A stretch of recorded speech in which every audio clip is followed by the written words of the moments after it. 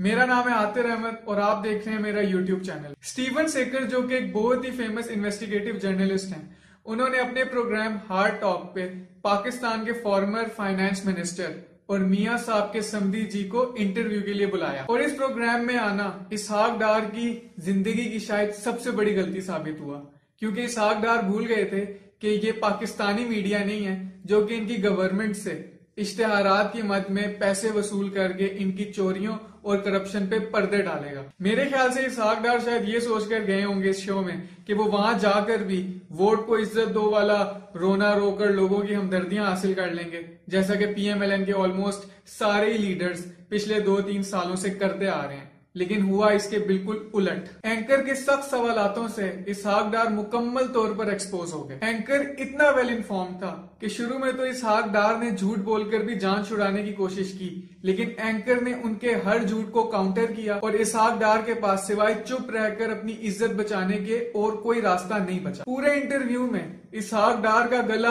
Almost खुश्क रहा और उनके लहजे से यही लग रहा था कि वो किसी भी टाइम रो देंगे। और इंटरव्यू के एंड में तो उनकी आँखों में आँसू भी आ गए। पाकिस्तान में करीब 50 के करीब न्यूज़ चैनल्स हैं और हर न्यूज़ चैनल पर बड़े बड़े एंकर्स प्राइम टाइम शोज़ करते हैं। लेकिन किसी भी पाकिस्तानी एंकर में इतनी हिम्मत नहीं हुई कि वो पीएमएलएन के लीडर्स की चोरियों और करप्शन को बेनकाब कर सके। लेकिन स्टीफन सेकर जो कि एक ब्रिटिश जर्नलिस्ट हैं, उन्होंने सख्त सवालों से बुरी तरह इस हाकदार को एक्सपोज किया और पीएमएलएन की करप्शन को भी बेनकाब किया। और वो इस टाइम पाकिस्तान में लोकल जर्नलिस्ट से ज़्यादा वायरल हुए हुए हैं। अब जरा बात करते हैं पीएमएलएन के स्टांस की।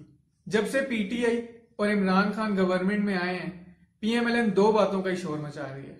एक ये कि इमरान खान सेलेक्टेड है और वो अवाम का मैंडेट चोरी करके पावर में आए हैं, यानी कि धांधली करके पावर में आए हैं। जबकि दूसरा ये कि नवाज़ शरीफ एंटी स्टैब्लिशमेंट है और वो सिविलियन सुप्रीमेसी के लिए स्ट्रगल कर रहे हैं। जब धांधली वाली बात इस आग डार ने बीबीसी के शो में गई तो एंकर ने यूरोपियन कमीशन रिपोर्ट का हवाला देते हुए कहा कि इस रिपोर्ट के मुताबिक कुछ बेजाबतगियाँ कुछ हलकों में हुई हैं, लेकिन ओवरऑल ये फ्री एंड फेयर इलेक्शन थे, जिसके जवाब में इसहाक डार ने कहा कि ह्यूमन राइट्स रिपोर्ट के मुताबिक तो धांधली हुई है।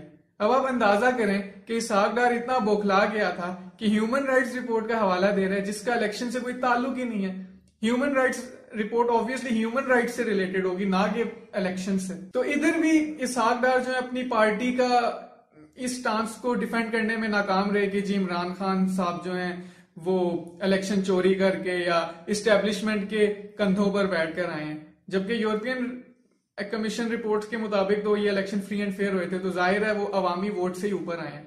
तो पीएमएलएन यहाँ भी अपने इस स्टांस को डिफेंड करने में नाकाम रही। और जब इस्टेब्लिशमेंट की बात हुई तो इसहाक डार का कहना था कि मियाँ साहब को इस बात की सजा मिली है कि वो सिविलियन सुप्रीमेसी की बात करते थे। और ये बात पाकिस्तानी मिलिट्री इस्टेब्लिशमेंट को पसंद नहीं आई, जिसकी वजह से उन्होंने मियाँ साहब को जुडिशरी के ज़रिए नाहल करवाया। स्टीफन सेकर ने इस बात का जवाब यूँ दिया कि जब मियाँ साहब जियाउल हक के हाथों में हाथ डालकर पावर के मज़े ले रहे थे, तब उनको सिविलियन सुप्रीमेसी क्यों ना याद आई? यानी कि जब तक मिलिट्री नवाज़ शरीफ को सपोर्ट कर रही थी और नवाज़ शरीफ पावर में थे, तब तक मिलिट्री उनको बड़ी पसंद थी, तब तक मिलिट्री ठीक थी। लेकिन जैसे मिलिट्री ने उनके सर से हाथ हटाया तो उनको सिविलियन सुप्रीमेसी याद आ गई। और इस चीज़ का जवाब इसहाक डार ने बड़ा ही अजीब सा दिया। वो कहते हैं कि ये जो नवाज़ शरीफ है वो एवोल्यूशनरी प्रोसेस से गुजर रहे थे। अब मुझे तो सिर्फ़ एक ही एवोल्यूशनरी प्रोसेस पता है जो डार्विन की एवोल्यूशन थ्योरी है।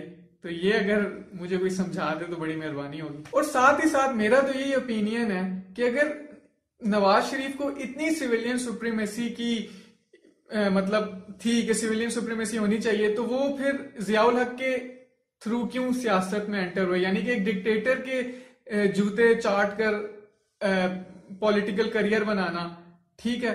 और फिर उसके बाद मिलिट्री को ही गाली देना, जब आपको वो पावर से निकाल दें। तो नवाज़ शरीफ इस्टेब्लिशमेंट के खिलाफ सिर्फ़ इसलिए निकले हैं, क्योंकि इस्टेब्लिशमेंट ने इनके सर से हाथ उठा लिया था। अगर नवाज़ शरीफ साहब इतने ही जमहूरी थे तो उन्होंने राही शरीफ साहब को एक्सटेंशन क्यों ऑफ़र की? और साथ ही साथ उनको 40 मुरबा इजाफी ज़मीन भी अलॉट करवाई। एक फोर स्टार जर्नल को 50 एकड़ ज़मीन अलॉट होती है। जबकि नवाज़ शरीफ ने 40 एकड़ इजाफी अलॉट कराई राही शरीफ को। मतलब उम्मीद तो उनको ये थी कि शायद ये करने से उनको एस्टेब्लिशमेंट की हमायत हासिल हो जाए, लेकिन हुआ उसके उलट ही। इंटरव्यू के दौरान एक और इंटरेस्टिंग पार्ट तब आया, जब इसहाक डार से उनकी प्रॉपर्टीज़ के बारे में सवाल किया गया कि वो कितनी प्रॉपर्टी ओन करते हैं। तो शुरू में तो बड़ी कोशिश की इसहाक डार ने कि वो किसी तरह झूठ बोलकर इस सवाल से बच जाएँ, लेकिन स्टीफन एकर ने उनको बुरी तरह सवाल में फंसा लिया था। तो इन दी एंड वो इस बात पे माने कि उनकी सिर्फ़ एक प्रॉपर्टी है पाकिस्तान में। खैर, ये भी गलत न्यूज़ है।